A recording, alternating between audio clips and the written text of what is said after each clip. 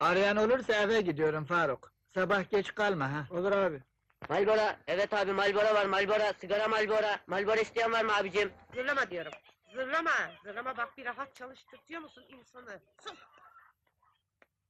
Yaramazlık etme vallahi gebertirim. Bırak bana. Sen Dürdane Hanım'a bak.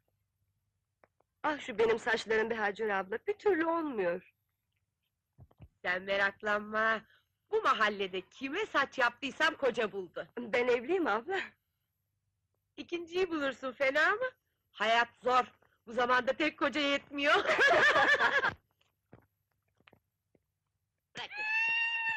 Allah cezanızı verir inşallah ya Rabbim sen bana sabır ver. Ne ağlatıyorsun lan çocuğu? Ne vuruyorsun be? Lan cezaları yeter mi? Gel sen buraya gel. Bıktım vallahi usandım ikinizden de bıktım. Ulan bu ne batırdı be? Hacer, anandan mektup geldi. İyi oku da dinleyeyim. Artık şu gece kurslarına gitsen de okuma öğrensen iyi olacak. Ya Ali gibi aklın mı karışsın? Orası da doğru ya. Senin Ali gene eşsiz kalmış. Bak baban ne diyor.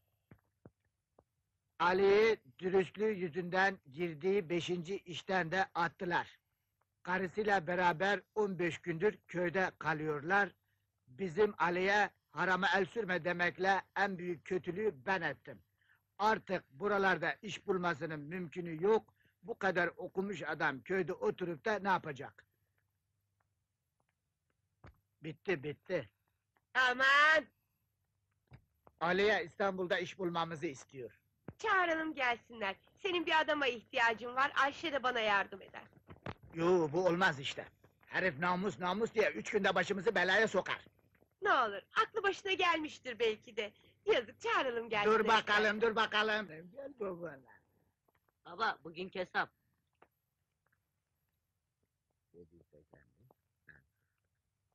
E 30 Marlboro. 250 lira çaldın değil mi? Şöyle şey. Hırkız. Kime çekmiş bu oğlan?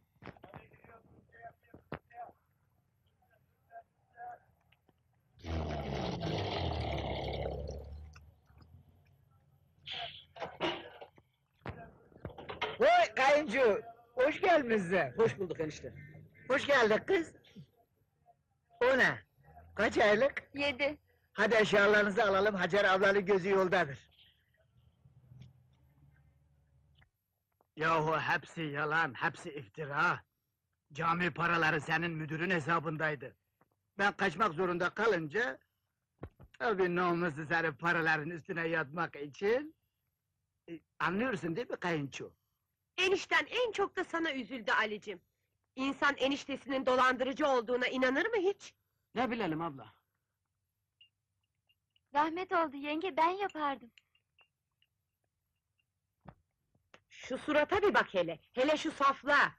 Yüzüne söylemek gibi olmasın ama enişten dünyanın en iyi yürekli adamlarından biridir. Bu surattan dolandırıcı çıkar mı be? Estağfurullah. Bilemedik. Bizim başımıza gelen de hep dürüstlüğümüz yüzünden gelmedi mi? Valla dürüstlük iyi hoş da... ...sen işin ölçüsünü biraz kaçırdın. Bak bu doğru. Sana mı kaldı dünyayı düzeltmek? Öyle ama dayanamıyorum işte. Bir haksızlık görünce Of dünya kötü kötü. Etraf dürüst olmayınca Ali suçluymuş gibi göze batıyor hemen. dürüst olduğumu, namuslu olduğumu etrafa belli etmemeye çalışırım. Ne yapalım? Merak etmeyin.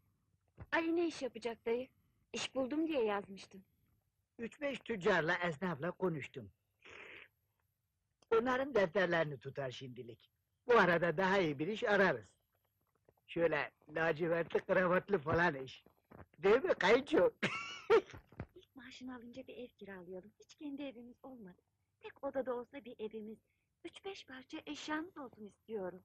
Evlendiğinden beri hiç gün görmedim kuzucuğum. Üzülme ne olur, daha genciz. Gelirken baktım da İstanbul ne kadar büyük değil mi? Bak şuraya yazıyorum. Her şey yoluna girecek. Kuzucuk söyledi dersin.